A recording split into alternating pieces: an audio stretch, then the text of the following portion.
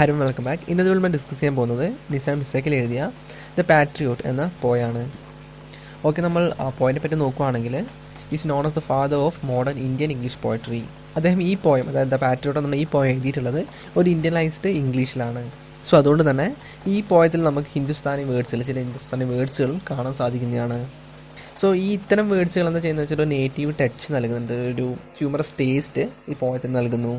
So അദ്ദേഹം എന്തുകൊണ്ടാണ് ഇങ്ങനെ ഒരു പോയ എഴുതിയിട്ടുള്ളതെന്ന് വെച്ചാൽ ഒരു ഇംഗ്ലീഷ് സ്പീക്കിംഗ് ഇന്ത്യൻസിന് വേണ്ടിയിട്ടാണ്. അല്ലെങ്കിൽ അവരെ മനസ്സിൽ കണ്ടുകൊണ്ടാണ് ഇങ്ങനെ ഒരു പോയ എഴുതിയിട്ടുള്ളത് എന്ന് പറയുന്നു. അതായത് ഇന്ത്യയിലെ ഒരു സാധാരണക്കാരൻ വായിച്ചാൽ മനസ്സിലാവുന്ന രീതിയിലാണ് അദ്ദേഹം ഈ പോയം എഴുതിയിട്ടുള്ളത്.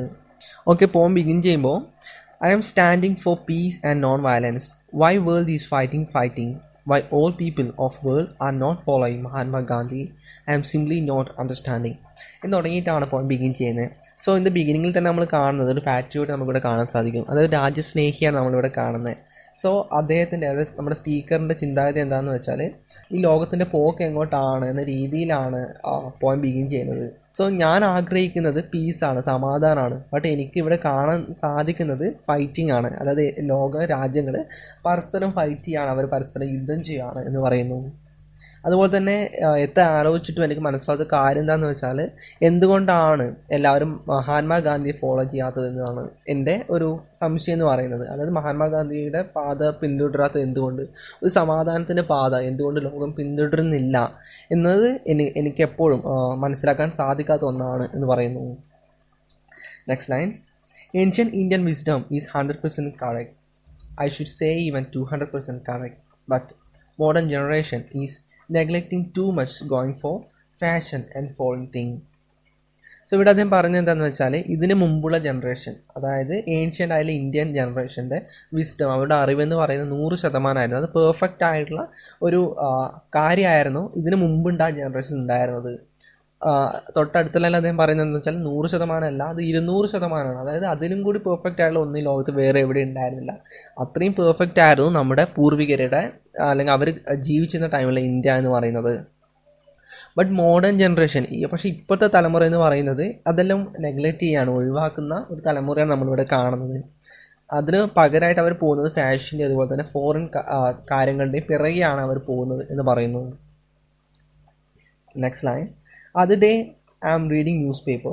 Every I am reading Times of India to improve my English language. How one Gonda fellow threw stone at Indira Bahan.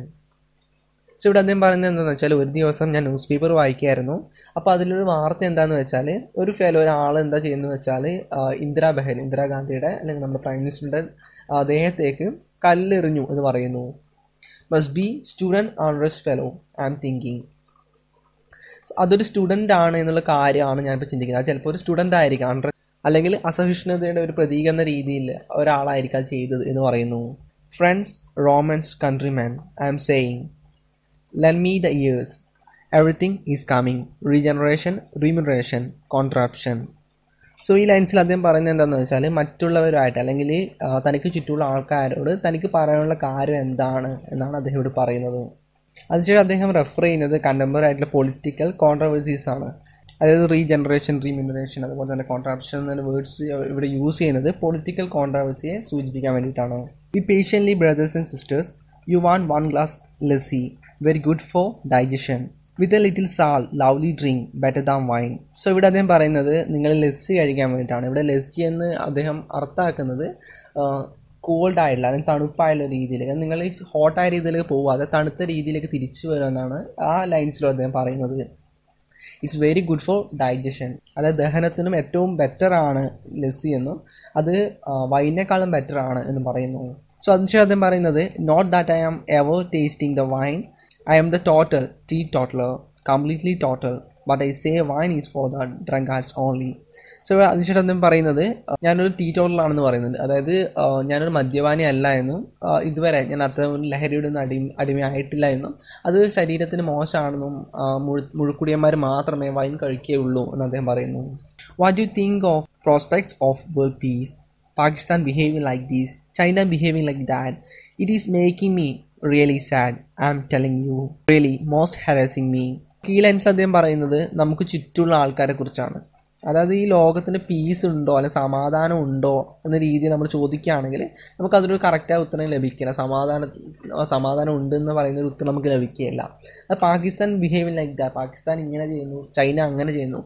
എല്ലാവരും പരസ്പരം കലഹിക്കുന്നു. അതിനിടയിൽ സമാധാനം തന്നെ വീടിനൊന്നും സ്ഥാനമില്ല എന്ന് അദ്ദേഹം പറയുന്നു. അപ്പോൾ ശരിക്കും പറഞ്ഞാൽ ഇത്തരം കാര്യങ്ങളാണ് എന്നെ യഥാർത്ഥത്തിൽ ഹരാസ് ചെയ്യുന്നത്. All man are brothers no in India also Gujaratis Maharashtrians Hindi wallahs all brothers though some are having funny habits ഇവിടെ അദ്ദേഹം ഉയർത്തിക്കാട്ടുന്നത് എല്ലാവരും സഹോദരി സഹോദരന്മാരാണ് എന്നുള്ള കാര്യമാണ്. അത് ഇന്ത്യയിൽ നിങ്ങൾ ഏത് സംസ്ഥാനം എടുത്തോളൂ ഗുജറാത്തീസ് ആയിക്കോട്ടെ മഹാരാഷ്ട്രൻസ് ആയിക്കോട്ടെ ഹിന്ദി സംസാരിക്കുന്നതായിക്കോട്ടെ എല്ലാവരും ബ്രദേഴ്സ് ആണ് എന്നുള്ള പോയിന്റിലേക്കാണ് അദ്ദേഹം എത്തുന്നത്. ബട്ട് എന്നിരുന്നാൽ പോലും എല്ലാവരുടെയും റിച്വൽസ് ഒരുപോലെയല്ല. എല്ലാവരുടെയും മത ആചാരങ്ങളോ അല്ലെങ്കിൽ എല്ലാം ഒരുപോലെ ആയിരിക്കുന്നില്ല. എല്ലാം വ്യത്യസ്തമാണ്.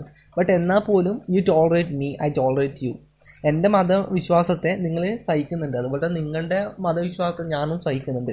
സോ അത് തന്നെയാണ് നമുക്ക് ഇനിയും വേണ്ടത് എന്ന് അദ്ദേഹം പറയുന്നു.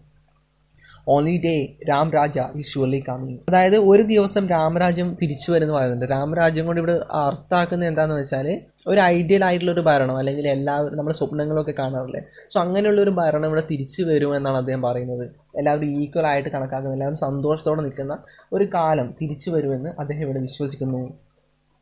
You are going, but you will visit again anytime, any day. I am not believing ceremony always I am enjoying your company so ഇവിടെ ഇന്ത്യ വിട്ട് പോകാൻ പോകുന്ന ഒരാളോട് ഇദ്ദേഹം ചോദിക്കുകയാണ് യു ആർ ഗോയിങ് എന്ന രീതിയിൽ. അല്ലെങ്കിൽ ആർ യു ഗോയിങ് നിങ്ങൾ പോവുകയാണോ? എന്ന് ചോദിക്കുകയാണ്. ബട്ട് അതിനുശേഷം അദ്ദേഹം പറയുന്നത് ബട്ട് നിങ്ങൾ തിരിച്ചു വരുന്നുള്ള ഒരു പ്രതീക്ഷ എന്റെ ഉള്ളിൽ ഉണ്ട് എന്ന് പറയുന്നു. I am not believing ceremony ആഘോഷങ്ങളിലൊന്നും ഞാൻ വിശ്വസിക്കുന്നില്ല. പക്ഷെ നിങ്ങളുടെ ആ കമ്പനിയിൽ നിങ്ങളുമായിട്ടുള്ള ഫ്രണ്ട്ഷിപ്പിൽ നിങ്ങളുമായിട്ടുള്ള സൗഹൃദത്തിൽ ഞാൻ വിശ്വസിക്കുന്നു എന്ന് പറയുന്നതിലൂടെയാണ് ഈ പോയ ഇവിടെ എൻഡ് ചെയ്യുന്നത്. So that's all about it and ചീത്താൻ chapter by